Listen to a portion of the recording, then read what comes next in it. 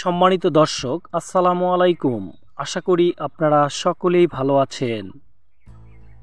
ছোট মিয়ার মরিচ চাষ পর্ব আঠারো নিয়ে আপনাদের সাথে যুক্ত হচ্ছি। তার আগে দর্শক, আমার চ্যানেলটি যদি সাবস্ক্রাইব করে না থাকেন, তাহলে অবশ্যই অবশ্যই করে রাখুন। কৃষিতে সবসময় বাস্তব অভিজ্ঞতা থেকে সঠিক এবং সত্য তথ্যগুলো আপনাদের সাথে তুলে ধরার চেষ্টা করে থাকি। তাই দর্শক ভিডিওটি না টেনে শুরু থেকে শেষ পর্যন্ত ধৈর্যের সাথে দেখতে থাকুন।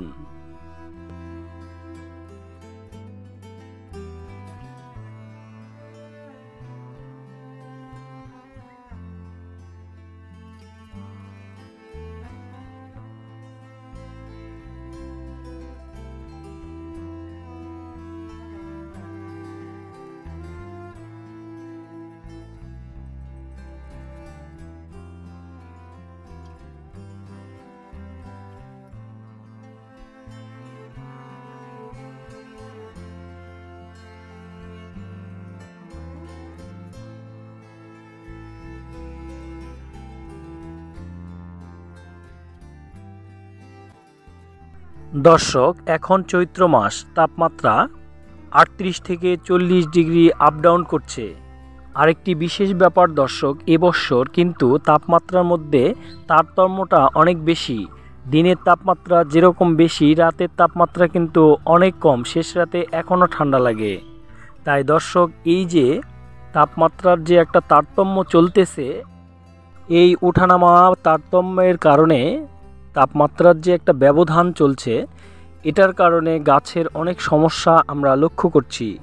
যেমন হচ্ছে ছত্রাকের আক্রমণ, ফুল ঝরে পড়া, গাছগুলো হঠাৎ করে ঝিমিয়ে যাওয়া, গাছে ব্যাকটেরিয়ার আক্রমণের মতো মনে হচ্ছে।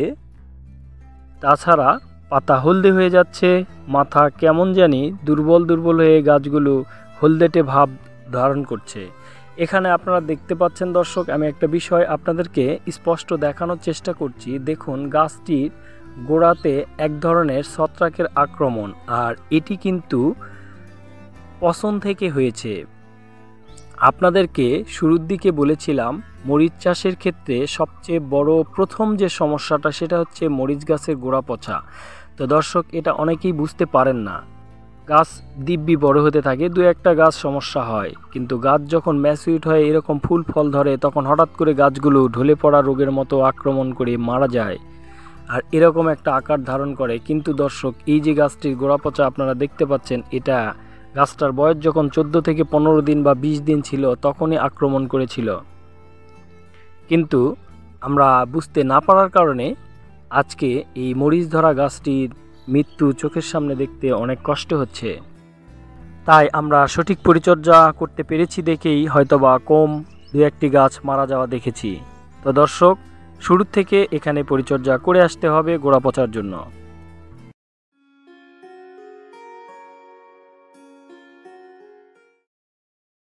তাই দর্শক, চাষাবাদ সবাই করতে পারে।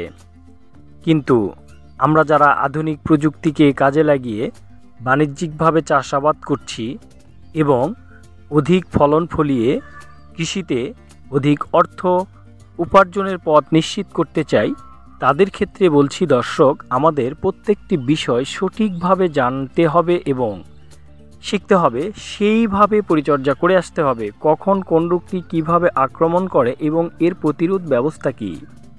গতানুগতিক কৃষি করে কখনোই বর্তমান অবস্থাতে ভালো কিছু করা সম্ভব নয়। কারণ কৃষি এখন অনেক ব্যয়বহুল হয়ে গেছে। তো দর্শক, আজকে কি স্প্রে করব তা দেখে নেই।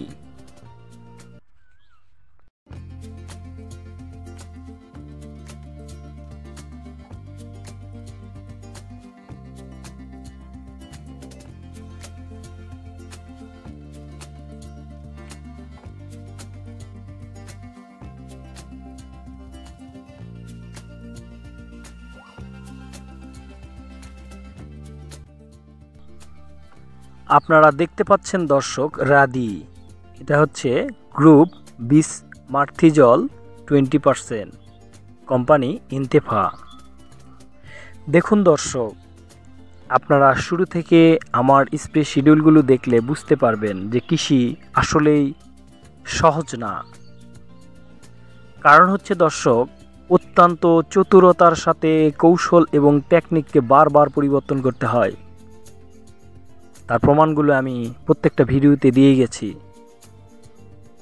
এখনকার সময়ে যারা এক্সপার্ট ফার্মার অর্থাৎ পারদর্শী, চতুর জ্ঞানে জ্ঞানী, তারাই কিন্তু ভবিষ্যতে কৃষিতে ভালো কিছু করতে পারবে।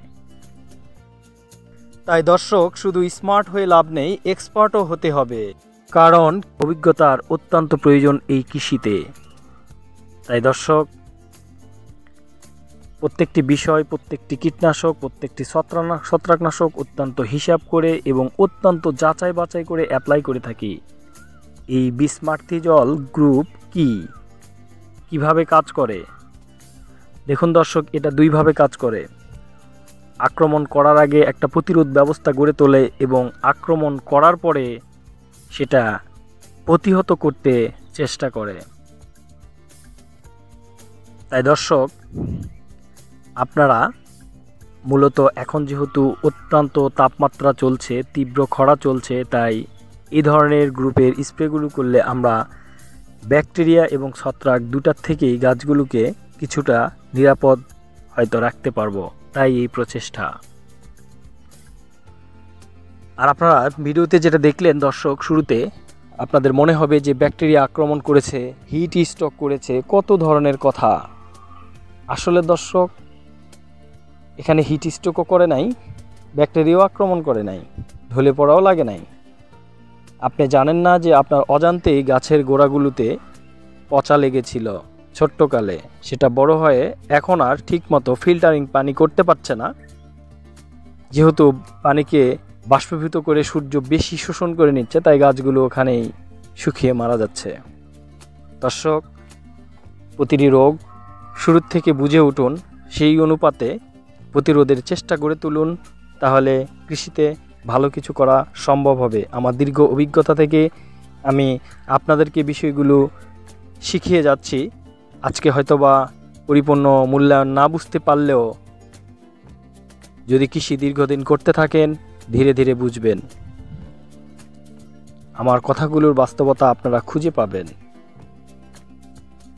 তাই দর্শক, এভাবে পরিচর্যা করুন ইনশাল্লাহ ঢলে পড়া রোগ আসবে না।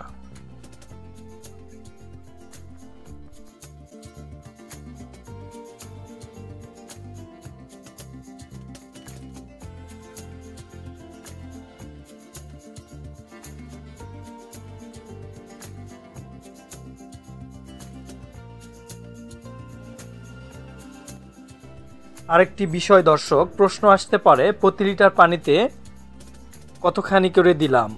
এখানে প্রতি লিটার পানিতে আমি দুই গ্রাম হারে দিলাম। আপনারা কোম্পানির ব্যবহার বিধি দেখে দিবেন।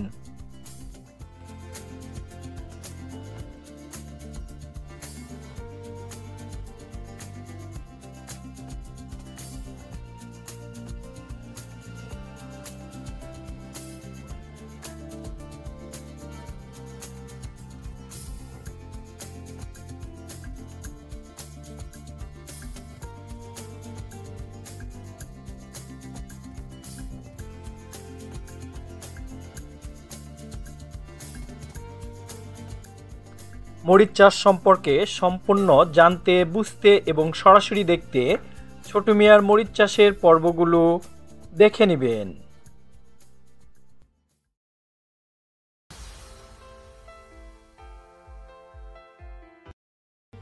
আমরা এই চ্যানেলে ধারাবাহিকভাবে ছোট মিয়ার মরিচ চাষের পর্বগুলো প্রকাশিত করে আসছি।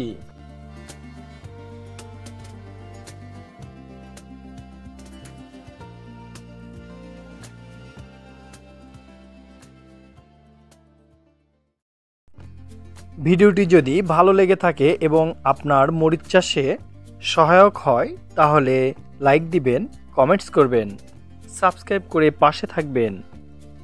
সবাই ভালো থাকবেন, সুস্থ থাকবেন, সুন্দর থাকবেন। আজ এ পর্যন্তই, আল্লাহ হাফেজ।